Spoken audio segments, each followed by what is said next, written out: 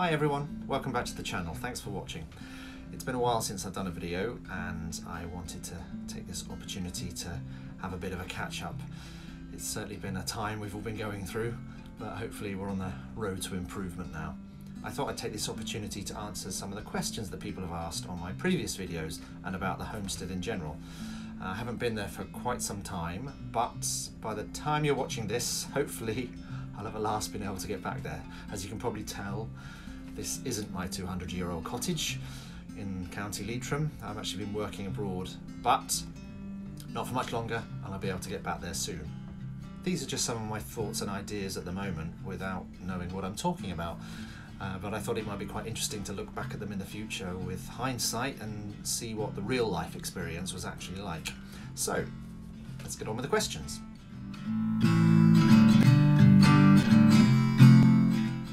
Initial reason for looking for a property was space, land, and affordability. I follow a lot of people on YouTube and Instagram who have beautiful properties and homesteads and small holdings in places like Spain and Portugal, and I have no doubt they're a little bit warmer and sunnier than Ireland is. But I just find Ireland so beautiful, with or without the rain, and it just felt like a good fit the fact that it's so close to the UK makes uh, travelling to and from so much easier. And the transport system and language and socialising and shopping is all so familiar that it just felt like a good fit. I admit that my Gaelic is uh, non existent at the moment, but that's something I'd looking to delve into as well in the future.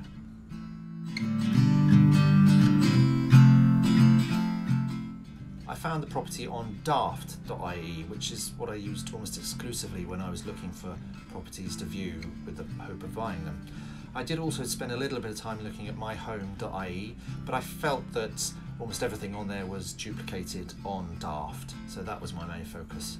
I did then look at some auctioneers' individual websites if I felt there was going to be some more details on there, but most of the information was on Daft.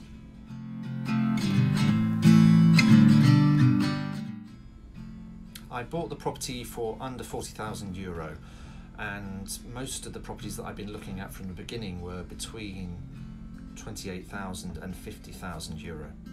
I always knew I'd be looking at the bottom of the market really and so I just had to look at things that I would be able to afford. That range of prices covers a whole variety of buildings. Some were in a great state and had full services in place, water and electricity, and great roofs and doors and windows, but that also included some places that were literally just a pile of rocks. So you get to see a wide range. And obviously, if you're looking to buy a property, particularly with land, for less than 50,000 euro, then you have to expect there's going to be a bit of a project to do. But I think it's all about the potential.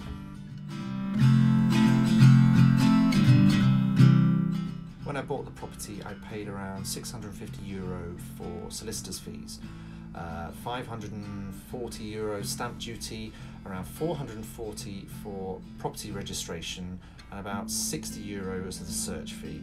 And that had VAT on top, which came to a total of around 1800 euro. Of course, that's just my situation and my solicitor. I'm sure it does vary to some degree, but those were the main categories that I paid fees on. Once I'd made an offer and had it accepted, the process was very straightforward, if a little slow, but then we probably all say that, don't we? I did find some things early on a bit frustrating with communication with the auctioneers. Sometimes it would take a long time for them to get back to you if you made an inquiry or not even hear anything back at all, so that was a little bit frustrating. And I know that Maggie McGee has talked about some of these issues on her fantastic channel, Cheap Irish Homes. So I'll put a link to that down below and definitely go and take a look. The homestead is in the northwest of Ireland, in the northern part of County Leitrim, between Drumkeeran and Manorhamilton.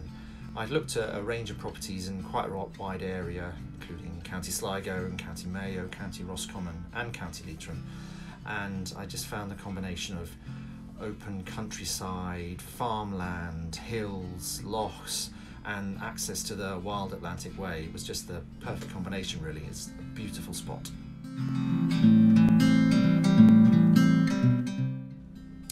No and no. I purchased the property at the beginning of 2019 and did have a couple of days there before the world was turned on its head and have been unable to travel back to Ireland since then, really.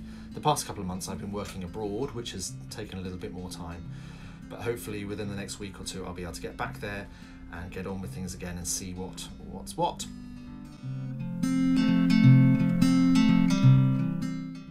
Well, I'm far from an expert, but I think Ireland is renowned for its rain and I think deforestation historically must have had an impact on how the land deals with all of that water.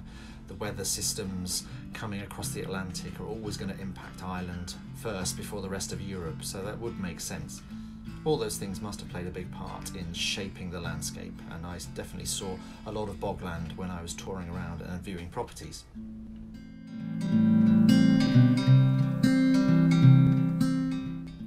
Started to look into and learn a bit more about permaculture and regenerative agricultural practices. And I definitely want to plant more trees and shrubs on the land. Although there will be some trees that I'm taking out. They're very close to the cottage and would definitely cause a lot of damage if they came down. And I'm planning a productive orchard behind the cottage as well. The copse of beech trees will obviously remain because that's beautiful and I want to plant as many shrubs and productive plants as I can, not only for myself but also to help the soil. And I do want to maintain the fantastic views down the valley across to Lough Allen. Ah, yes, the Japanese elephant in the room. Um, I wasn't fully aware of the knotweed when I bought the property, but there's definitely quite a sizable patch there. Um, and I don't mean to negate the seriousness of that or that I need to focus on doing something about it. But I do feel that with Japanese knotweed, there's always quite a panic about it. And the last 18 months has given me some time to do a bit more research, find out some other ways to deal with the problem that perhaps don't involve napalming the whole area. So there will be a video coming soon as I start to try and figure out the best way to deal with that. Um, so watch this space. The last time I was at the property, it had been a particularly wet period and there was a lot of standing water and running water as well along the land. Um, there's definitely one well, and I believe on some old maps there is a second well and a watercourse, which seemed to be evident, but that might just have been the weather that we've been having at that time.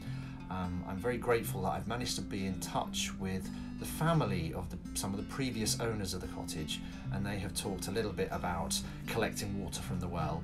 So that's something I'm definitely going to be looking into quite soon.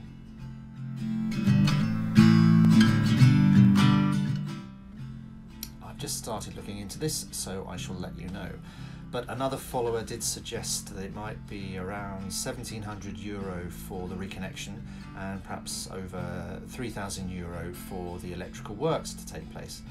Obviously, every, every situation will be different, and I hope that there's enough modern wiring or systems in place at my cottage so it won't be too expensive, but we shall see.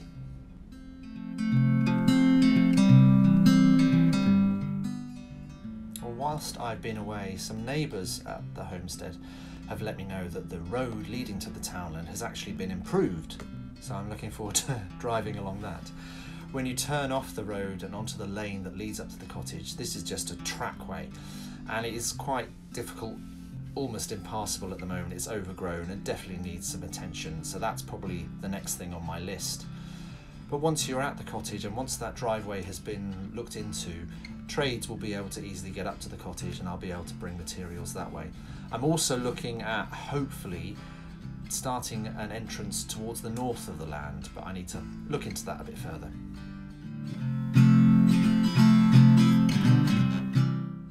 That's a good question. Uh, although, like many of the cottages that I'd looked at around the county and around the country had been modernised, mainly with their concrete render, this is an original stone built cottage along with the barns and the outbuildings, so I believe they are the original properties on that site. I think I've identified the property in the 1911 and 1901 census, and then a look at some older maps places the same buildings in the same position that matches up with the Griffiths valuations maps and back to 1883, and actually some older maps back to 1830s as well. So a rough estimate would be the best part of 200 years old at least, which is amazing.